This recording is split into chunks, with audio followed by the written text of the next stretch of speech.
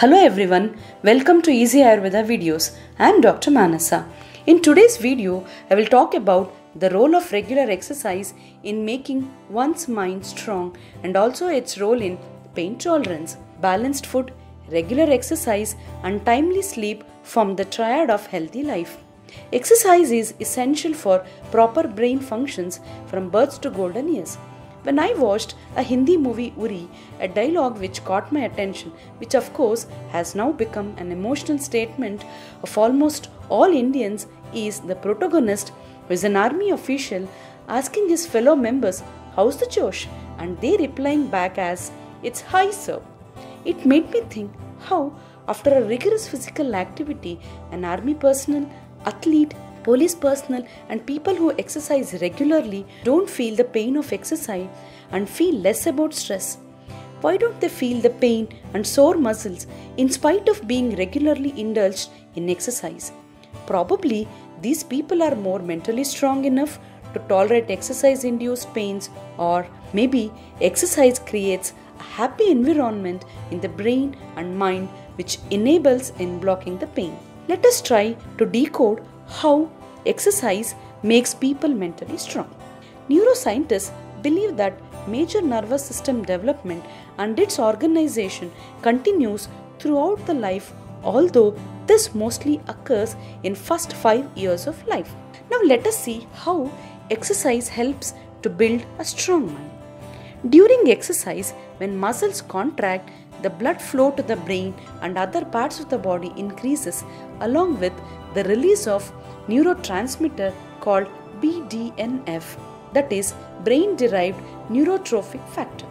Along with BDNF other chemical like endorphins, dopamine and serotonin are released during exercise. Among these chemicals, endorphins play a major role in reducing the effects of pain and stress. Endorphins are the neurotransmitters which help to transmit electrical signals within the nervous system. They are secreted by the central nervous system and pituitary gland. They are released in response to prolonged and continuous exercise and during stress. They inhibit the communication of pain and stress to the brain.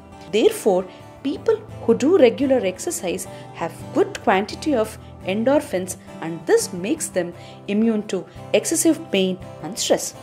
Regular exercise increases the blood flow to the brain through increased cardiovascular activity and thus provides essential nutrients such as glucose and oxygen to the brain and rest of the body. It also helps to regulate blood sugar levels. In children, it is observed that exercise has shown to increase both cognitive and motor skill development. Exercise increases memory and slows down the aging process of the brain. People who do exercise regularly have much lower rate of suffering from memory loss, dementia and Alzheimer's disease. We need to exercise 30 minutes per day or 120 to 150 minutes per week to get good dose of endorphins and to enjoy the benefits of exercise. Laghavam कर्मसामर्थ्यं दीप्तो अग्निः मेधसक्षयः विभक्तगणगातत्वं व्यायामात् उपजायते According to Ayurveda, exercise done in proper quality and quantity provides laghavam, that is lightness of the body, karma samarthyam, that is capacity to do any work efficiently. This is what we were speaking while discussing the role of endorphins on the brain functions and mind, which prepares one to do his works with competence without getting tired or without feeling the pain and tiredness of doing it. Deepto Agnihi, that is kindling of digestive activities, Medasakshayaha, that is depletion of excessive fat, Vibhakta Ganagatratvam, that is clearly defined and chiseled out body parts, especially the muscles, the abs for which people work, and a good looking body. Shrama, Klama, Pipasa, Ushna, Shitadinam, Sahishnuta. Exercise also provides tolerance to exhaustion derived from physical works, fatigue, that is wear and tear phenomenon occurring in the body, thirst, heat, and cold. At the same time, one needs to be sensible and sensitive while doing the exercise. One should not get indulged in excessive exercise or deficit exercise. Both are harmful to the body and mind. Exercise should be measured and should be done according to one's capacity and tolerance.